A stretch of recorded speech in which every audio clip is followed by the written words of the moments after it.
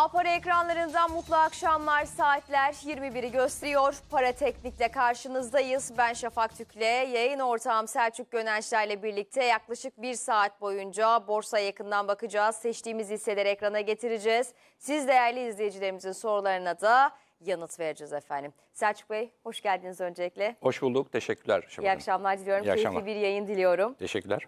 Şimdi tabii Borsa İstanbul rekora doymuyor. Yine rekor bir kapanışa imza attı. Hemen alalım kapanışı. Önce bir kapanışı görelim. Şimdi biz içeride rekor e, seviyelere imza atıyoruz. Bugün özellikle şunu da belirtelim. Yurt içinde şirketlerin 3. çeyrek finansal sonuçları için son gönderim tarihiydi.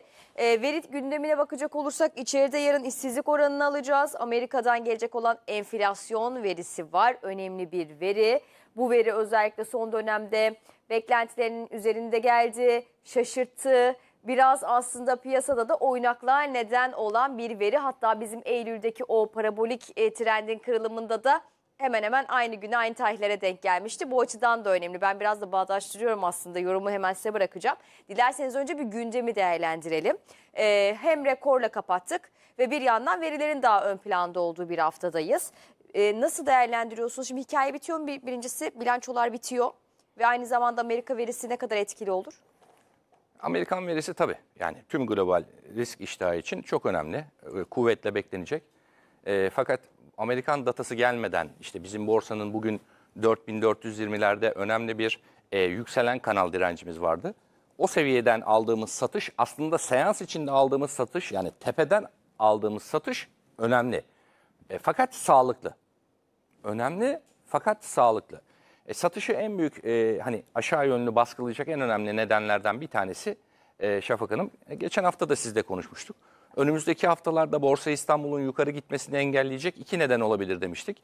Bir tanesi ve veya mola vermesine en önemli nedenlerden hangisi olabilir dediğimiz zaman bilançoların bitmesi.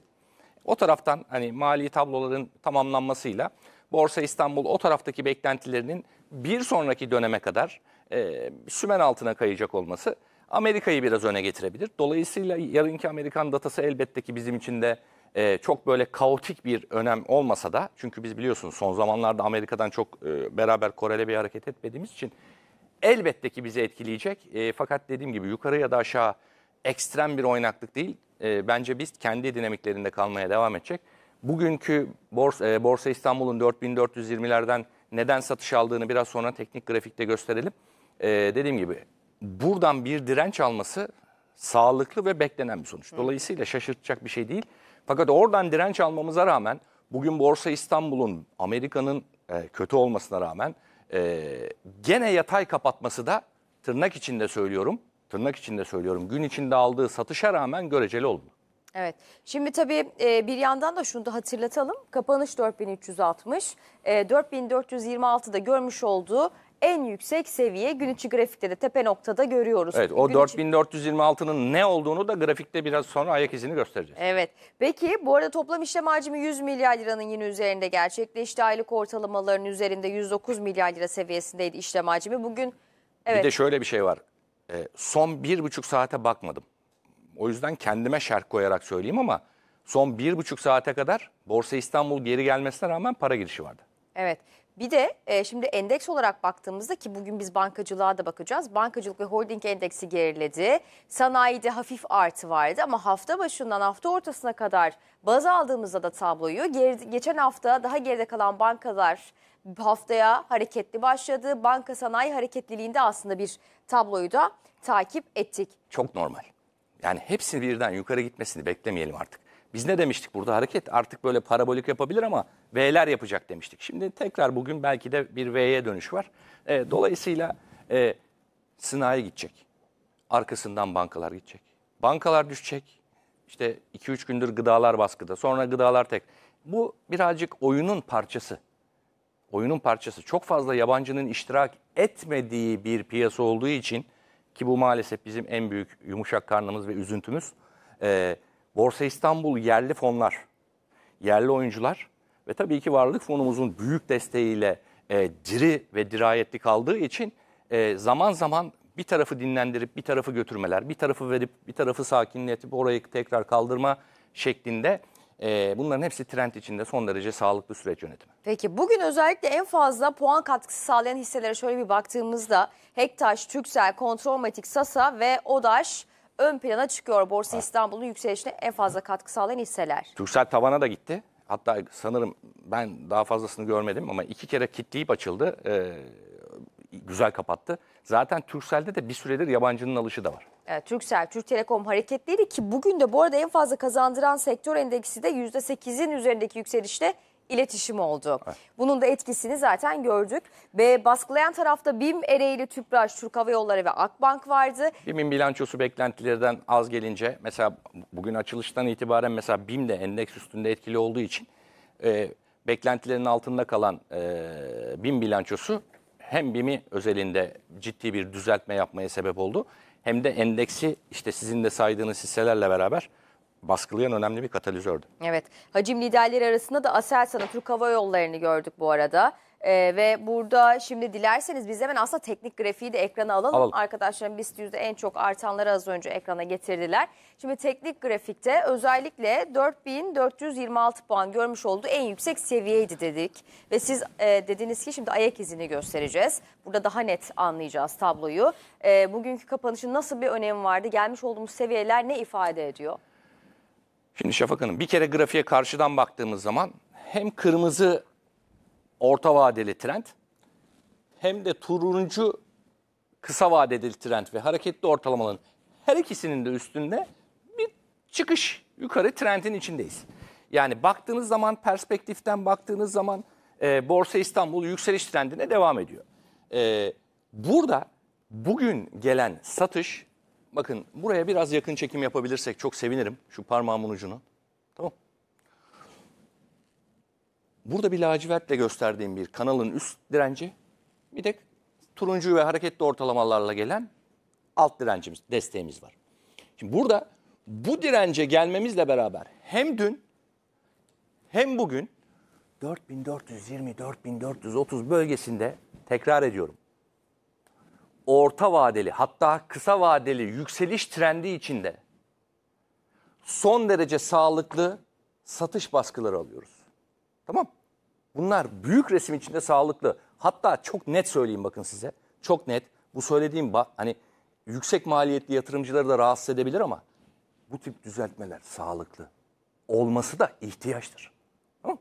Fiyatın devamlı bam bam bam yukarı gider. Tamam eyvallah ama ara sıra düzeltmeler yapıp aşağıdaki hareketli ortalamaları onaylaya onaylaya yukarı gitmesi daha sağlıklıdır en azından teknik anlamda. Şimdi burada 4436'da önemli bir dirençimiz vardı. Bu dirençten bugün 4360'lara doğru yatay bir kapanış aldık. Borsa İstanbul'u bu haftanın özelinde genel olarak baktığımız zaman hatta kısa vade bak- baktığımız zaman 4276 aşağıda 4276 yukarıda 4436 4276 4436 bu bant içinde bu bant içinde Borsa İstanbul bir süre hani bu bilançolar bitti ya bilançoların bitmesinden dolayı kendine yeni bir hikaye aray- arayabilir. Yarınki Amerikan enflasyonu da belki de işte 4276'lara doğru düzeltmenin genişlemesi ve veya 4326'ları 4330 4436'ları yukarı yönlü patlatmak için bir dinamik fitil de olabilir. Amerikan datasını bu anlamda biz takip etmeye o yüzden devam edeceğiz. Medyan beklenti %8 yıllık bazda. Evet yani yüksek gelmesi bekleniyor. Ee, dediğim gibi burada biz kendi özelimizde şuna bakacağız. 3 tane hareketli ortalamamızın üstünde miyiz? Üstündeyiz. Olumlu. Turuncu trend çizgimizin üstünde miyiz? Üstünde. Olumlu. Hacim desteği var mı? Var. Baktığımız zaman teknik anlamda henüz endekste sat sinyali yok.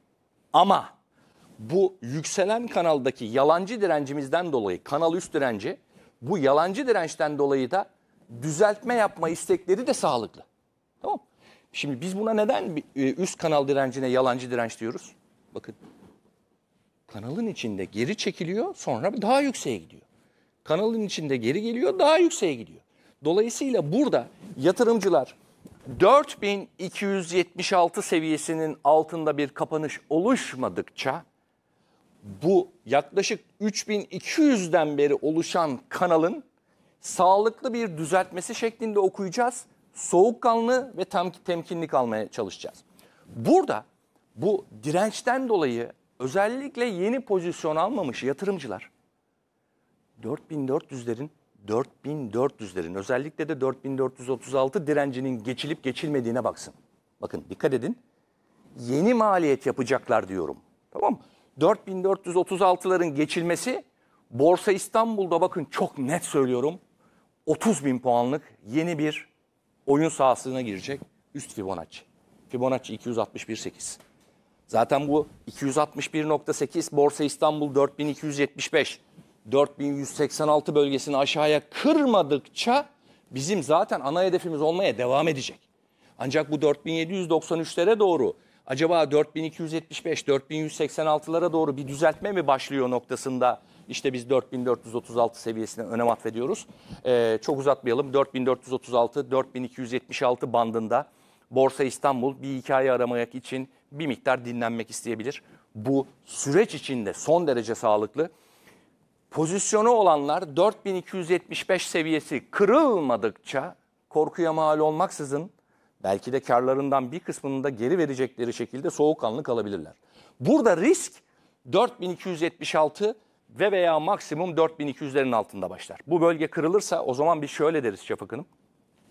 Arkadaşlar yükseliş kanalı kırıldı ve kısa vadeli endeks savunma sinyali verdi. Yani sat bekle, sat alttan al disiplinine dönmek gerekebilir.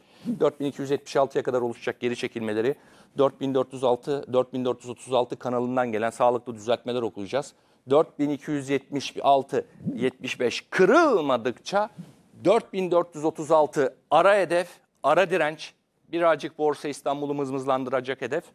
Fakat orta vade hedefini 4793 olarak koruyacağız. Evet şimdi sene sonu için özellikle e, aracı kurumlarında hep belirttiği hedefler 4600-4700 bölgesinde. E, bir yandan da yani şu yorumları da alıyoruz. Borsayı Dolar bazlı da. bozabilecek. Evet. Bu, bu arada dolar bazlı grafikte de dolar bazlı grafikte de e, 242-243 dolar gibi bir bölgede önemli bir dirençlerimiz var. Orası da zaten TL'ye çevirdiğimiz zaman işte 4000 kura göre değişiyor tabii ama 4500'ler yapıyor. Dolayısıyla bu hem TL bazlı grafikteki 4436 hem de dolar bazlıdan gelen direnç dediğim gibi Borsa İstanbul'u bir süre baskı altında kalabilir. Burada bizim korkmamız bir miktar savunma dürtüsüne geri dönmemiz için 4275 4200 bölgesinin altında kapanış almamız lazım. Burası kırılmadıkça süreci sağlıklı düzeltmeler olarak okuyacağız. Sert bir Kırıldığı hareket anda bir neden yok ama değil mi yani? Hani borsa şu anda ortam olarak baktığımızda ya da işte e, yatırım ortamı ve enstrüman olarak baktığımızda da hala Amerika yeni diplerine gidebilir. Ama bu bu yeni risk ne olabilir? Ekstrem bir haber düşebilir piyasaya. Bilemiyoruz onu. Yani her şey olabilir yani. Ee, Yunanistan'ın tehditleri ortada. Cumhurbaşkanımızın duruşu da bu anlamda ortada. Afaki konuşuyoruz. Öyle bir haber olabilir. Amerika işte yarın enflasyon saçma sapan yüksek gelip eski diplerine doğru bir aşağı inmek isteyebilir. O zaman tabii ki bu 4275'leri, 4200'leri Borsa İstanbul elbette ki aşağı yönlü baskıya çevirir. İşte jeopolitik gelişme ya da dış haber akışı olmadığı sürece içeride bu momentum bozacak bir şey yok şu anda Bir de mi yani? maalesef hani bugün seans salonlarında konuşulduğu için zikrediyorum. Benim beklentim olduğu için değil yanlış anlaşılmasın. Bir yönlendirme olarak da anlaşılmasın. Fakat konuşulduğu için söylüyorum. İşte e, Cuma günü Sayın İmamoğlu'nun bir davası varmış sanırım. İşte orada bir yargılanma süreci var. Orayla ilgili de piyasa haberi bekleyecektir. Hani e, yeniden seçilmesi, adaylığın elinden alması gibi.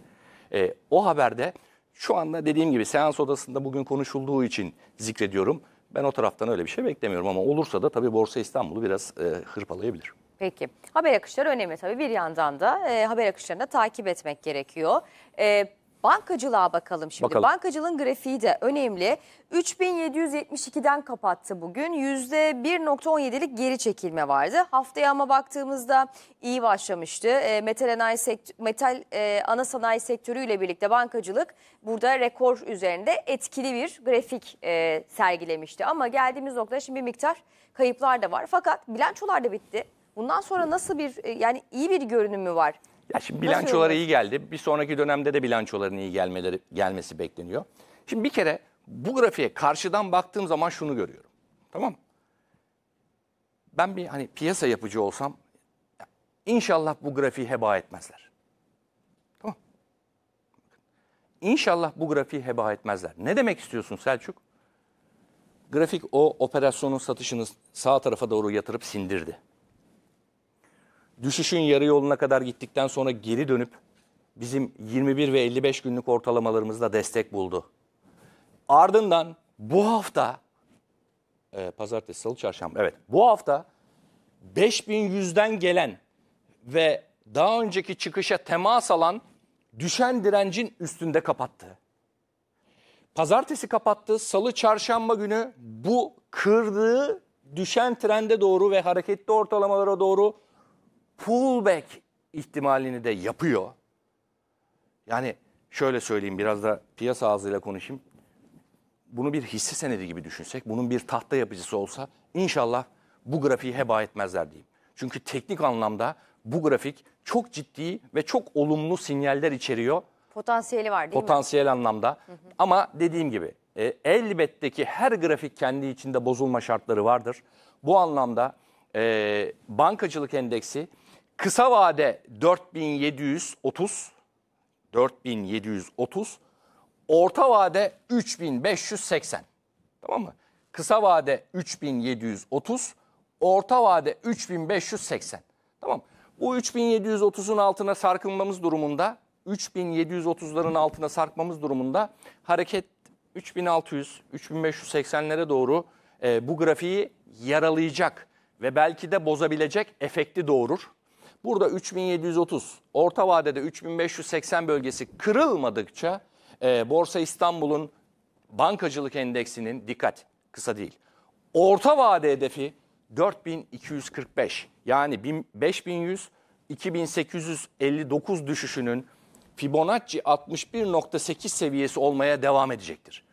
4245 hedefi radardan ne zaman çıkar ve buzdolabına kalkar? 3580 kırılırsa. 3580 kırılmadıkça 3980 ile 3700 bandı bir süre mızmızlanacak gibi görünüyor grafikte. Ama dediğim gibi 3580 kırılmadıkça bankacılık endeksinin hedefi 4245 olacaktır. Dediğim gibi çok hoş duran bir grafik. Düşen trendin üstünde iki tane orta vadeli desteğinin ve hareketli ortalamasının hatta 8 günlük hareketli ortalamasının da üstünde. Burada çok fazla onaylanmış bir teknik görüntü var. Asıl olan fiyat burada bozulma şartlarını da hocam sen X Bank için son derece olumlu şeyler söyledin. Ama burası bozuldu şartları 3730 ve 3580 seviyeleri olarak okunmalı. Bunlar kırılmazsa bu grafik bir süre daha dediğim gibi bu 3980 belki de 3580 bandında mızmızlanacak ama bu grafik bilmiyorum bir haber çağırıyor gibi geliyor bana. Biz öyle deriz. Bir haber Bir çağırıyor. haber çağırıyor. Arkasından ne patlar ben bilemem. Eğer yani destekleyecek bir haber gelirse de bu sefer Ben herhalde bilemem. yine bu grafiği kaldıracak dediğiniz e, Bilemem. Ben sadece grafiğin efektinden evet. Tecrübem, bir haber tecrübemden olursa. Evet. ama e, bu kadar olumlu okuduğunuz bir grafikte risk ve para yönetimini nasıl yapacağız? Sadede gelelim. Çünkü asıl olan e, piyasada şöyle bir şey vardır Şafak'ın. Analizle haklı olmak kimseye bir şey kazandırmaz. Önemli olan şey analizle para kazanmaktır. Para kazanamadığınız sürece analizde haklı olsanız da kimin kimseye faydası yoktur. Tamam. Dolayısıyla kısa vade risk yönetimimizi 4730 şartına, if şartına veya istüren stop loss'a bağlayacağız. 3730. 3730, 3730 düzeltiyorum. Orta vade ise 3580'e bağlayacağız. Bu iki hareketli ortalamanın destekleri ve istürenleri olarak koruyacağız. Bunlar çalıştığı sürece bir bekleyelim bakalım bu grafik bize nasıl bir haberi doğuracak. Peki takipteyiz. İlginç yani, ben- evet, öyle bir efekt önemli olabilir. Seviyeyi bize verdi. Şimdi dün dedik ki hangi hisseleri merak ediyorsunuz? Programda hangi hisseleri izlemek istiyorsunuz diye sosyal medya hesabımızdan sorduk efendim ve izleyicilerimizden aldığımız özellikle yoğun bir şekilde hemen hemen de aynı hisselerde sorulmuştu. Çok merak edilenler, hareketli olanlardı. Ee, ve onların grafiğini hazırladık. Selçuk Gönenşer'in şimdi hazırlamış olduğu o teknik grafikleri ekranlarınıza getireceğiz. Tamamen seyircilerin Seyircilerimizin talepleri. sorusu talepleri. Evet. Şimdi e, teknik analizlerine bakacağız efendim hisselerin. Petkim'le başlayalım dilerseniz. Petkim bugün %0.70'lik geri çekilmeyle kapattı. 14-14'ten günü sonlandırdı. Petkim bilançosundan sonraki hareket de önemli Evet, tabii. evet. Tabii. Şimdi biz bunu sanırım geçen hafta da aslında burada yapmıştık ya da ondan önceki hafta yapmıştık. Fakat gene seyirci sorularında olduğu için yapalım dedim. Şafak Hanım 15.96 11.30 düşüşünün Fibonacci 71 78.6'sı 14.98'di. Bilanço ile beraber bilanço ile beraber sanırım pazartesi günü Petkim 14.98 15'leri gördü ve Fibonacci 78.6'dan tekrar bugün bugün bilanço ile beraber üstüne kırdığı üçgenin içine geri döndü. Tamam. Şimdi kısa vade ve orta vade baktığımız zaman herhangi bir sorun yok. Neden sorun yok? Bir, kırmızı yükseliş trendinin üstünde. İki, kısa vadeli hareketli ortalamalarında üstünde. Burada tek sorun, e, tek rahatsız edici şey üstüne geçtiği düşenin içine iki gün sonra geri döndü. Bu bir süre daha işte dedim ya Borsa İstanbul 4426, 4276 bandında bir süre mızmızlanacak gibi. Bu da şunu gösteriyor bize. Petkim yukarıda 1498, aşağıda 1368 bandı gibi bir bölgede bir süre daha böyle mızmızlanabilir e, borsaya paralel olarak. Ancak genel olarak baktığımız zaman grafik şık, e, üçgenin içine geri dönmüş olması kısa vade bir miktar grafiği rahatsız ediyor olsa da 13.68 hatta 13 onlar kırılmadıkça Petkim 14.98 ara hedefi ve ardından da 17.20 hedeflerini koruyacaktır. Evet. Şimdi özellikle bilançodan sonra gelen açıklamalara baktığımızda aracı kurumlarda Çok ucuz. evet hisse mesela al önerileri biraz da azalan potansiyelle birlikte tut olarak değiştirildi. Bilançosu beklendiği gibi hani bir, bir tık e, yani iyi geldi ama hani beklendiğinin bir tık altında geldi. E, fakat dediğim gibi FK'sına baktığımız zaman e, bilançonun alt göstergelerine baktığınız zaman yani şu anda temel anlamda yani 22-24 arasında bir edeli olduğunu temel analistler bunu Bir e, ucuz şu o bakıyor. E, Borsa İstanbul'da da FK'sı ucuz ve gitmeyen işte çok fazla senet kalmadı açıkçası. E, TÜPRAŞ'la beraber Petkim de bu senetlerden bir tanesi. Evet aslında hafta başı itibariyle baktığımızda o hareketlilik vardı dediğiniz gibi. Tabii, tabii. Bugün bugün Burada Tüpraş Pet- nasıl kapattı onu bir görebilir miyiz eğer kapanışı çağırabilirsek? Buyurun size anlatın bir yandan. Petkim, Petkim yatırımcısı için şu başımıza bela olan, neden başımıza bela diyorum? Bakın burada da yaptı Evet. o belayı. Düşüşün 78.6'sı. Burada da yaptı o belayı. Şimdi geldi bilançodan sonra aynı Fibonacci seviyesine gene takıldı. Burası 78.6. Aşağıda 13.68, maksimum 13.10 riskin olabileceği su kaldıracak seviyeler. Bu seviyelere kadar Petkim yatırımcısı sıkıntısı sakin bir şekilde e, pozisyonuna ha- hakim olabilir. Burada Petkim'de çok net bir şekilde yeniden yeniden eğer biz e, 14.27 14.27'lerin üstünde kapanışlara geri dönersek bir sonraki çıkışında bakın burada birinci denemesini yaptı. Bilançodan sonra ikincisini yaptı bu 13.68, 13.90 gibi bir bölgede kalır. Yeniden 14.98'e geçerse bu üçüncüsünde 78.6'yı kırar ve önce 15.96 ardından da 17.20 ve 18'lere doğru bu sefer net bir şekilde kuvvetli bir tempoya döner. Ee, dediğim gibi bunu nasıl bir haberle yapar, nasıl bir dinamikle burayı destekler o taraf ayrı. Ama genel olarak baktığımız zaman Petkim'de 13.68'lere kadar oluşabilecek tüm geri çekilmeler 17 ve 18.80 hedeflerini bozmayacaktır. Evet bu arada Tüpraş da negatif kapatmış. %2.53'lük geri Normal. çekilmeyle 430'dan kapatmış. Beklentiler alınır, gerçekler satılır. Şu anda işte bazen işte dedim ya bilançoların etkisinin azalması. E, bir de büyük trend içinde biraz önce söylediğimiz gibi Şafak Hanım ya bırakın da fiyatlar biraz düzelsin de yani biraz fiyatın hareketli ortalamalara geri dönmesi gerekir. Benim şöyle bir sözüm vardır yıllardır söylerim. İsteseniz de istemeseniz de. Sevseniz de sevmeseniz de. Her fiyat er ya da geç hareketli ortalamalarına ve trendlerine geri döner. İşte şu anda işte bilançolar bitti. Biraz Borsa İstanbul bir dinlensin, bir e, sakinleşsin. Normal bunlar. Ama Şimdi- bizim yatırımcı son zamanlarda ne alsa gittiği için böyle 2-3 günlük düşüşlerde hemen bir titreme hali, hemen bir korku haline dönüyor. E, sakin olsunlar. Heyecanlı bir piyasa var şu anda. E, Normal ama işte bu bu bu adrenalini, bu duygusallığı yönetemedikleri sürece sürdürülebilir bir kazanç içinde olamazlar. Evet.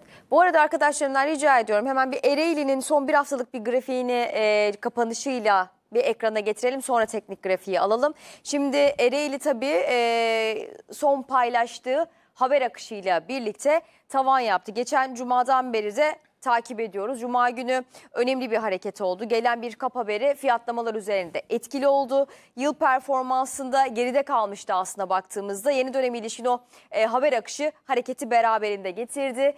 Ve son bir haftada 36-62 ve hemen hemen bu sene görmüş olduğu zirveye yaklaştı. Nisan'da 36-68 ile zirveyi görmüştü. Ve son bir haftalık grafiğe baktığımızda da işte Cuma itibariyle o tepeye zirvesine yaklaştı. 34-72'den kapattı bugün.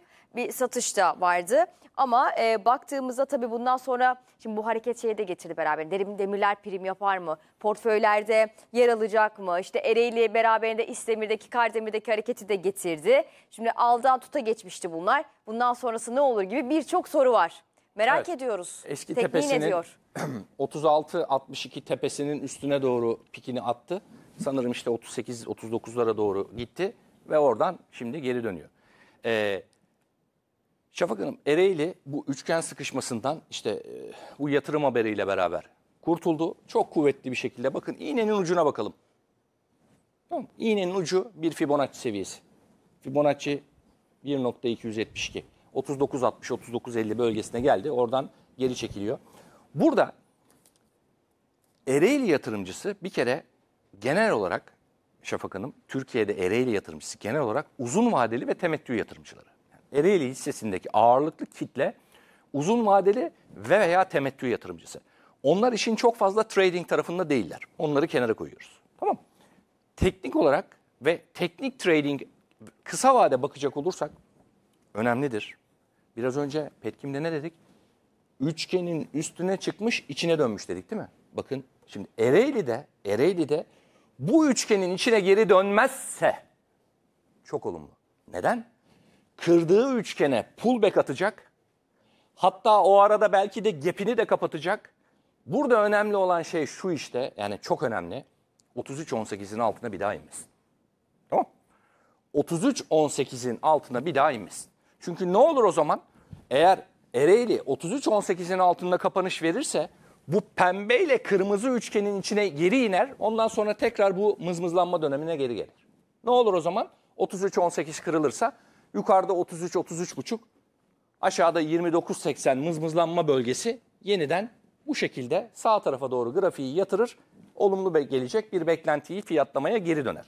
Burada 33.18 maksimum hadi maksimum 32,5 32,5 33.18'e kadar iner ve o bölgenin içine girmeden yeni geri dönerse bu Ereğli teknik grafiği için son derece şık, son derece sağlıklı bir kırdığı üçgene geri dönüp onay alma, pullback hareketi olmuş olur ve 36.62 39.63'lere doğru yeniden bakın şöyle elimle göstermeye çalışayım.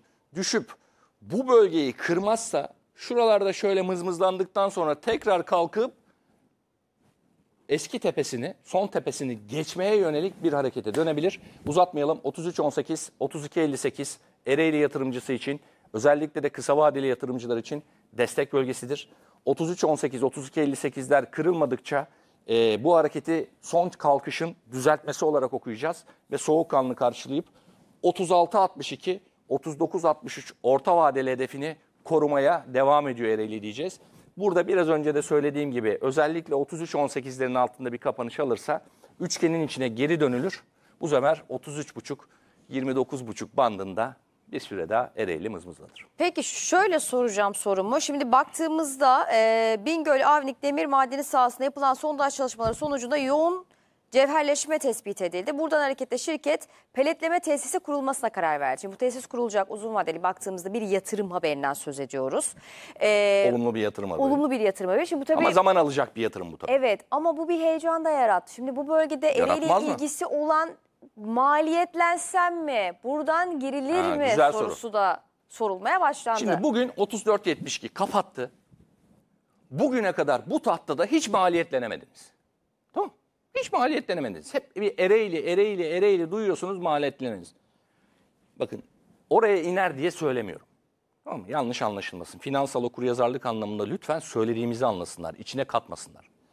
29.79 32,5 bandı bakın 22 29.79 32,5 bandı Ereğli için Türkiye'de ekstrem bir risk oluşmadıkça tamam mı? Yani dışsal ekstrem bir risk oluşmadıkça 29.80 32,5 bandı işte parası cebinde Ereğli hissesi almak için pusuda bekleyen yatırımcı için bir fırsat olur.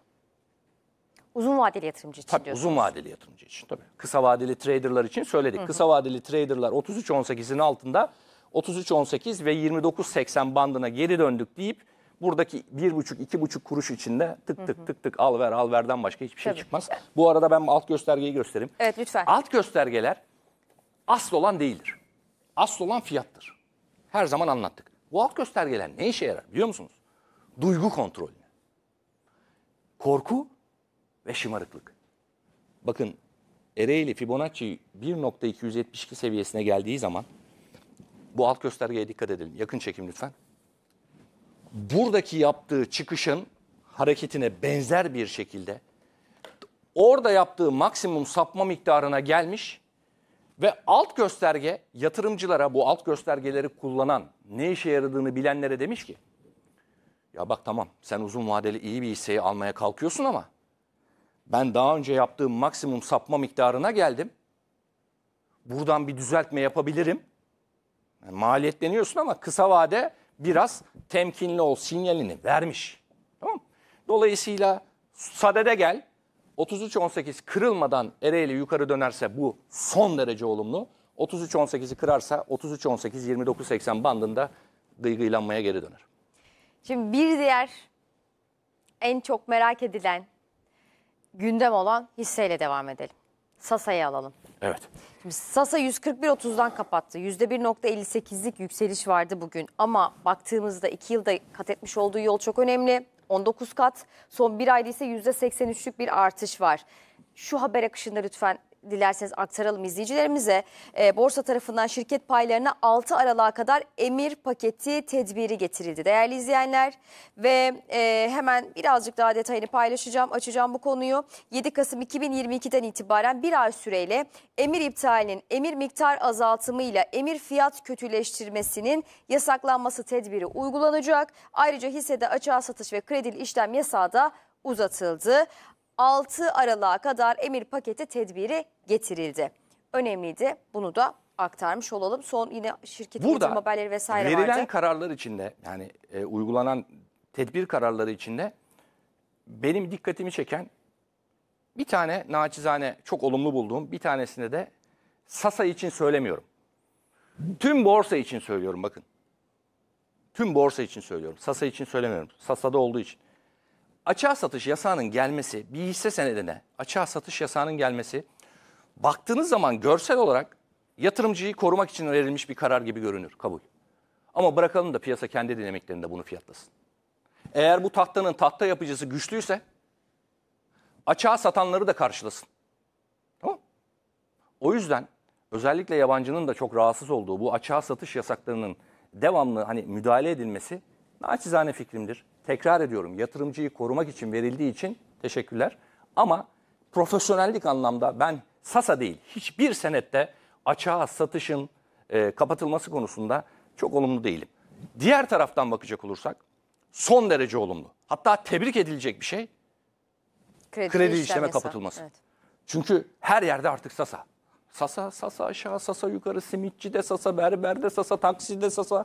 Her yerde Sasa konuşuluyor. Niye? Haksız değiller. Şimdilik haksız değiller. Çünkü nereden alsalar gidiyor. E, tamam yani gayet. Bir mottosu da var. Şey Evet. paylaşıyor, paylaşılıyor. Özellikle şimdi baktığımızda sasan varsa tasan olmaz gibi şimdi e, böyle şeyler de üretildi Şimdi bakın, ama şimdi ben bu tip söylemlere çok kuvvetli karşıyım. Tamam. E, trend var mı? Var. Nereden alırsanız alıyorsunuz. Para kazanıyor musunuz? Eyvallah. Trend kırıldığı zaman bütün hikaye biter. En azından kısa süreli biter. Uzun vadeli hikaye devam edebilir. Ama kısa vadeli biter. Çok fazla uzatmayacağım. Dolayısıyla tedbirler, tedbir kararlarını göreceli olarak olumlu okumaya devam ediyorum. Borsa İstanbul yatırımcılarının Sasa hisse senediyle ilgili özellikle trading gözüyle bakanlar bakın. özellikle trading gözüyle bakanlar 8 ve 13 günlük ortalamaları hareketin yukarı yönde kalması ve veya bozulması anlamında kuvvetli bir şekilde takip etmelerini bir disiplin anlamında öğütülüyorum. Tamam mı? Biz şu anda teknik bir yorum yapacağız. Şu anda Sasa için temel analistler de bile kendi işlerinde ayrıldılar. Bunu unutmayalım. Bazı temel analistler kuvvetli bir şekilde pahalı olduğunu söylerken bazı analistler büyüme hikayesinden dolayı hala ucuz ve yolunun olduğunu söylüyor. Ben bir teknik analist olarak her iki kesime de göreceli olarak hak veriyor olsam da teknik anlamda bildiğimi anlatacağım. Çok özür dilerim. Trend bittiği zaman Evet. Şunu, Her şey bir, bitecek. bir haber akışı daha var. Dilerseniz onu da aktaralım. Şimdi özellikle bu son yükselişte onun da etkili olduğu düşünülüyor. Şirket hisselerinin son yükselişinde yumurtalıkta aldığı arazide PTA üreteceğini açıklamasının da etkili olduğu ileri sürüldü. Bu görüş de paylaşıldı. Şimdi bakın şirket Borsa İstanbul'daki paydaşlarını hep koruyacak refleksler yapıyor. Bu olumlu. Ya bunlar olumsuz demek mümkün mü? Güzel yatırımları var. Tamam hepsi tamam. Hepsi kabul. Ancak olası yani Sasa özelinde değil. Sasa özelinde söylemeyelim ama bir dışsal risk tetiklenirse Borsa İstanbul bir riski altına girerse Doğru mu? Eğer Türkiye'de siz değer yatırımcılığı, uzun vadeli yatırımcılık ne demek bunu biliyorsanız sorun yok. Düşse de tutarsınız. Ama siz bunu bu her yerde konuşulduğu için nereden alsam kazandım mantığıyla atıyorum kafadan.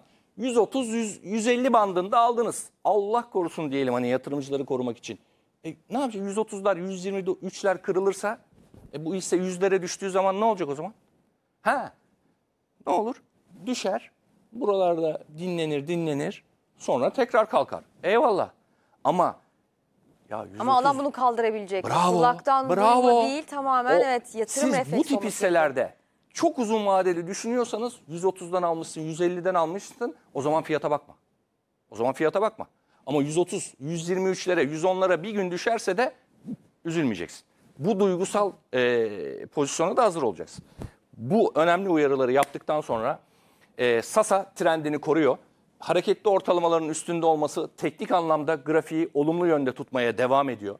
E, temel analistlerin kendi içlerinde pahalı ucuz tartışmaları teknik analiz lügatında olmayan bir tartışmadır. Teknik analiz şuna bakar. Fiyat hareketli ortalamaların üstündeyse akımda kalınır. Fiyat hareketli ortalamaları kırdığı zaman yatırımcısının savunma dürtüsüne geri dönmesi gerekir. Burada Sasa yatırımcısı için iki tane destek noktası belirliyor bize hareketli ortalamalarımız. Bir tanesi 134 TL. Bu çok majörde savunma dürtüsüyle hareket etmek isteyen yatırımcılar için bakın. Yani çok karda olanlar ya ben çok karımdan geri vermeyeyim. Tamam mı? Hani karımdan çok fazla feragat etmek istemiyorum diye düşünenler 134 TL. Ya benim maliyetim korkunç ya. Yani ben artık umurumda bile değil falan gibi bakanlar varsa da onlara da ben şöyle söyleyeyim 123.20. 123.20 kırılırsa Sasa 117 ve 102 bandına düşer. 123 TL kırılırsa Sasa 117 ve 102 bandına düşer. Ancak şu anda realite olarak baktığımız zaman 100, 117 ve 112, 102 buçuklar trading modellemede şu anda görüntüde yok.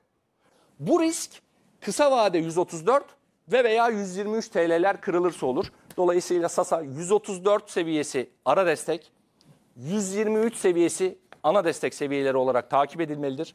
Bu destek bölgesi kırılırsa bir miktar savunma dürtüsüyle hareket edilmeli. Bu iki destek kırılmadıkça 150.70 ve 174 TL'leri 150.70 ve 174 TL hedeflerini Sasa yatırımcısı radarda tutabilir. Fakat uyarıyorum 150-70 ve 174 hedeflerine karşı Sasa'yı trading okuyan bir yatırımcısı, yatırımcı 134 TL'yi kısa vade, 123 TL'yi de mutlaka orta vade oyun bozuluyor.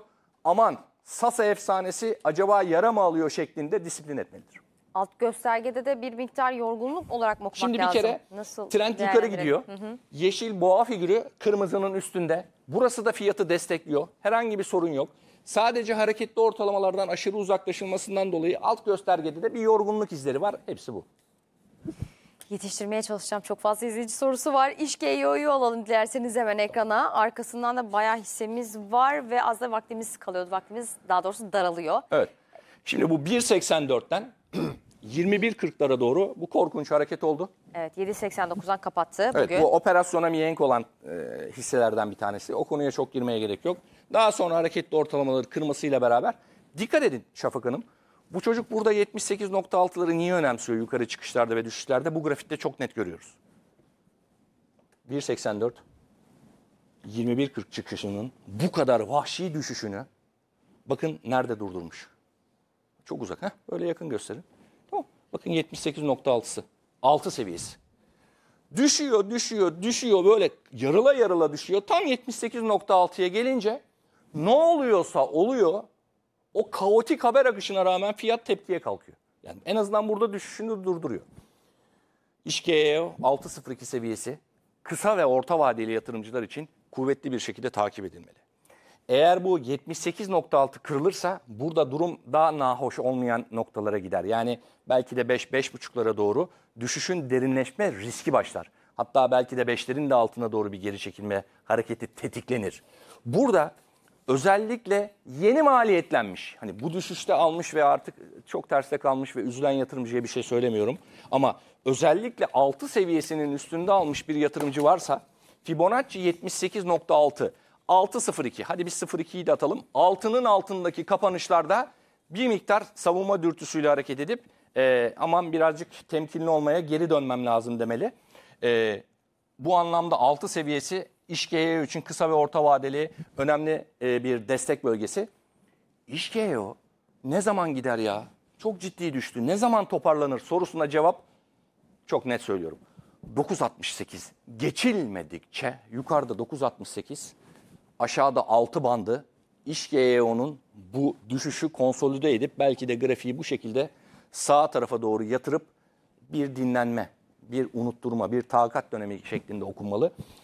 9.68 geçerse İşgeo dirilir. 9.68. Geçerse İşgeo dirilir. Aksi takdirde 9.68 6.02 bandı gıy gıy bandı.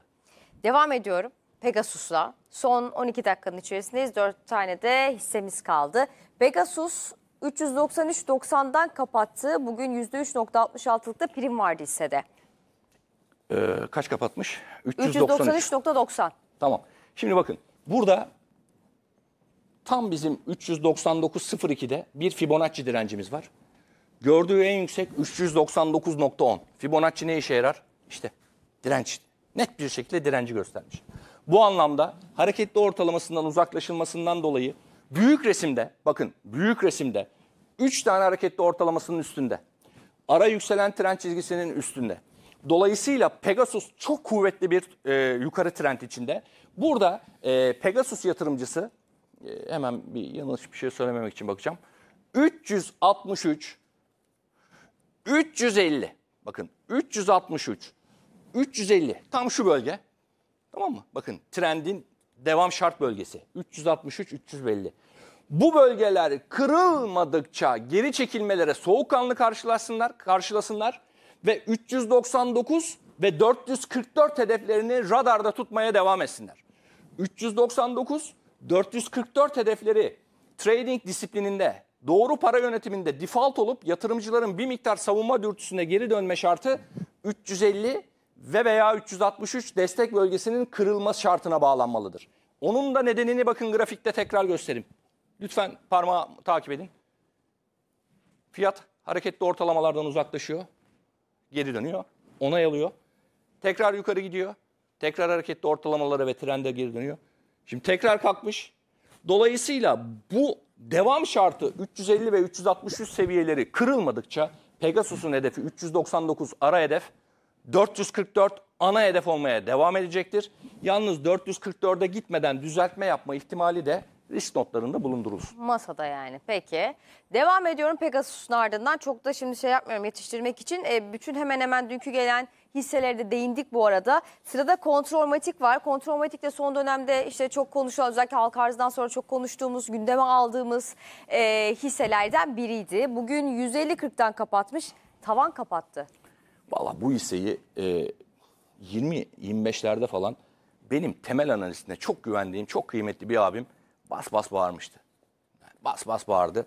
E, şirket de e, bu anlamda yatırımlarına devam ediyor.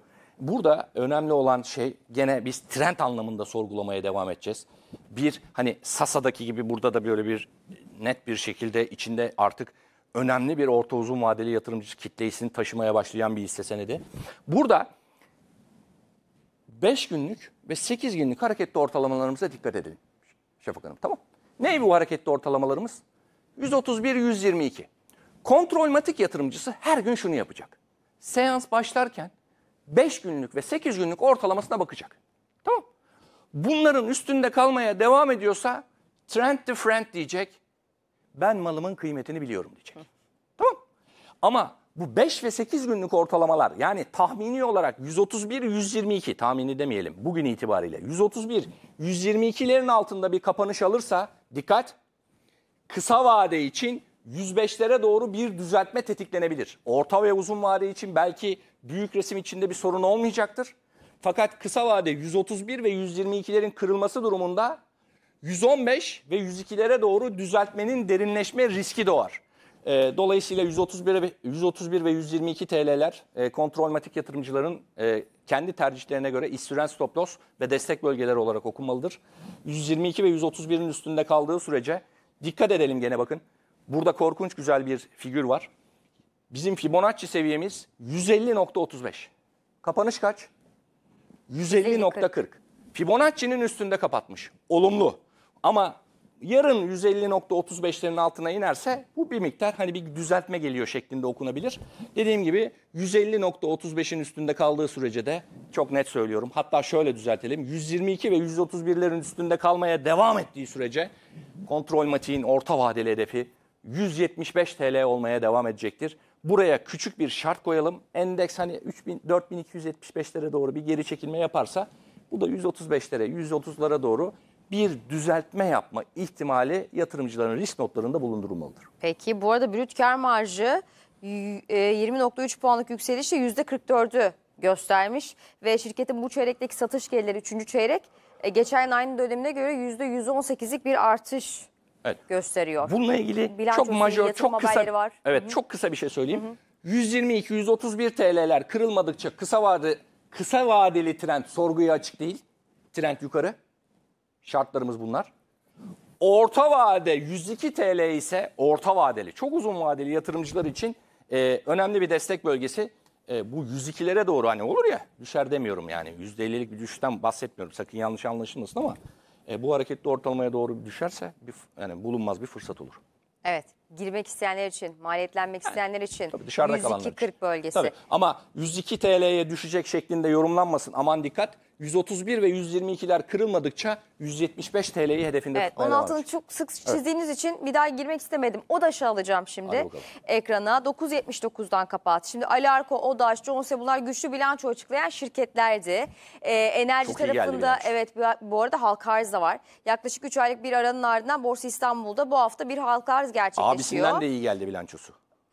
Öyle Ya mi? Öyle bunun- geldi. Bunun, Tam bunun şeyini bir abisi var ondan da iyi Evet. geldi bilançosu. Şunu hemen not edip sözü size bırakıyorum. Geçen hafta SPK'dan halka arz onayı alan Alfa Solar 9-10-11 Kasım tarihlerinde yani bugün başladı. 3 gün boyunca talep toplama sürecini gerçekleştirecek efendim. Pay başına 58.50 liradan e, fiyattan talep toplayacak. Bugün başladı ve halka açıklık oranı %20, halka arz büyüklüğü ise 538 milyon lira olacak. Halka arzı gerçekleşiyor. 3 ay aradan sonra ilk halka arz bu arada. Şimdi ODAŞ yatırımcısı dikkat etsin. Grafik günlük, yükselen kanal Fibonacci çalışması. Yatırımcıları, ODAŞ yatırımcısını 8 ve 21 günlük ortalamanın disiplinine da, izlemeye davet ediyorum. Bakın. Uzak değil, yakın. Bak hala uzak. Beni de beni de görmek istiyorlar arada bence kameraman arkadaşlarım. 8 ve 21 günlük hareketli ortalamalarla beraber fiyat net bir şekilde yukarı trendini koruyor. Şimdi burayı gösterdim ki yatırımcılar disiplinli olsun. Neymiş disiplin? ODAŞ 8.60, 8.30 yaklaşık 3 TL'lerden beri fiyatı üstünde taşıyan hareketli ortalamalar. Bu iki tane hareketli ortalamanın altında galiba bir kere ya da iki kere kapanış yapmış, tekrar trendine devam etmiş. Bu anlamda ODAŞ 8.62, 8.30 seviyeleri yani 8 ve 21 günlük ortalamalar kuvvetle bir şekilde her gün güncellenerek takip edilmelidir.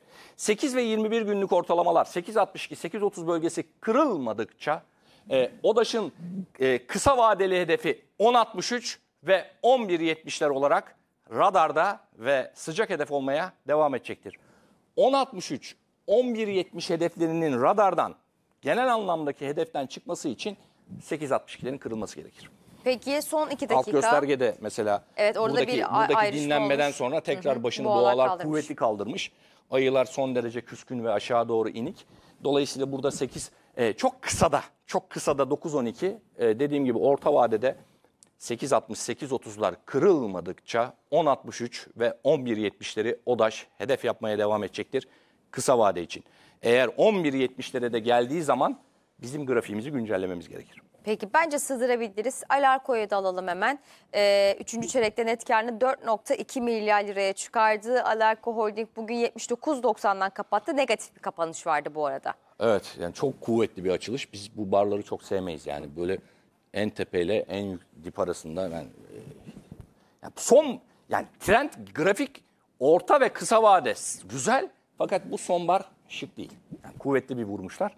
E, dediğim gibi e, Alarko için Alarko için baktığımız zaman hareketli ortalamalarımız 77.30 ve 73.90 seviyelerini işaret etmekte Şafak'ın. Bu yaklaşık bakın bu arada e, düşüşün geldiği yere dikkat ediyor muyuz? Düşüşün geldiği yere dikkat edelim. Biraz daha, biraz daha. Bakın harikasınız. En yüksek 88.35. Bugün 88.35. Fibonacci Fibonacci'si 88.32. 88.32, Evet. Bu ne demek biliyor musunuz? Alarko tahtası muhtemel olarak bir algoritmik piyasa yapıcının elinde. Yani piyasaya yön veren elbette ki manuel işlemler yapan oyuncuları vardır. Fakat kuvvetli bir şekilde algoritmik hareketlere mevzu bahis olduğu görülüyor. Dolayısıyla 77.30, 73.80 bölgesi bu borsanın sakinlenme döneminde Alarko yatırımcısı için destek bölgeleri olarak okunmalıdır.